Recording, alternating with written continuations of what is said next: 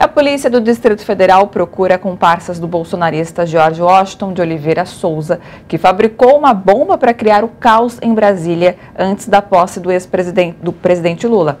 O bolsonarista está preso na Papuda por terrorismo por tempo indeterminado. A polícia desativou o explosivo e prendeu George Washington no apartamento que ele alugava na capital com um verdadeiro arsenal de armas. Ele é gerente de um posto de gasolina no Pará e levou as armas para Brasília, onde participava de manifestações golpistas, ao lado de outros bolsonaristas, na frente do quartel do Exército. Em seu depoimento à polícia, Jorge Washington disse que comprou as armas, incentivado pelas declarações de Jair Bolsonaro.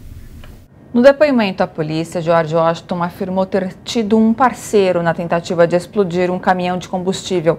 A polícia identificou que se trata de Alan Diego dos Santos, que já teria fugido de Brasília.